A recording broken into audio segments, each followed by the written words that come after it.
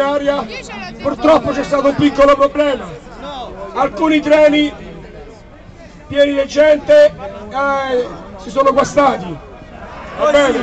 Solidarietà pure ai nostri fratelli che si sono guastati. Non dobbiamo avere, non dobbiamo avere nessun, nessun risentimento perché succede questo. Ora però siamo arrivati a un punto dove bisogna dire cosa si fa domani. Quindi vi prego, vi prego, vi prego un attimo d'attenzione.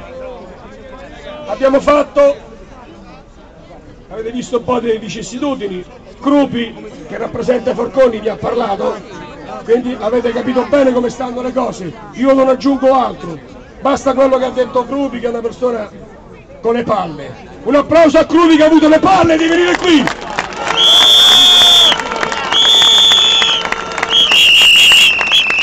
Questi sono gli uomini. Gli uomini sono fatti così. Allora signori, abbiamo indetto questa iniziativa ad oltranza. Siamo andati in tutti i presidi e le piazze d'Italia a confermare questa cosa.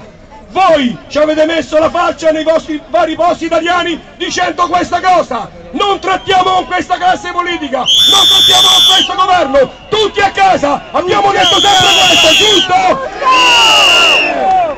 E gli uomini mantengono le parole Cristo! Tutti a casa! Tutti a casa!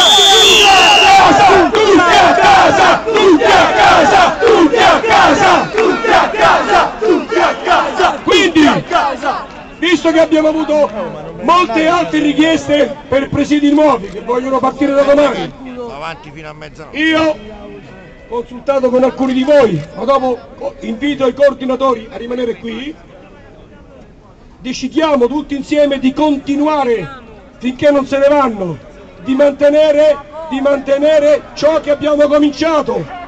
Però, però, statemi bene a sentire, siamo sotto Natale, allentiamo, allentiamo la pressione fisica nei presidi, non sciogliamo i presidi, facciamo le, le feste natalizie rimanendo con i presidi un po' di meno, non prendiamo iniziative tipo cortei, tipo manifestazioni, ma appena passano le feste se non se ne vanno, inizieremo una lotta ancora più dura, più decisa e più determinata.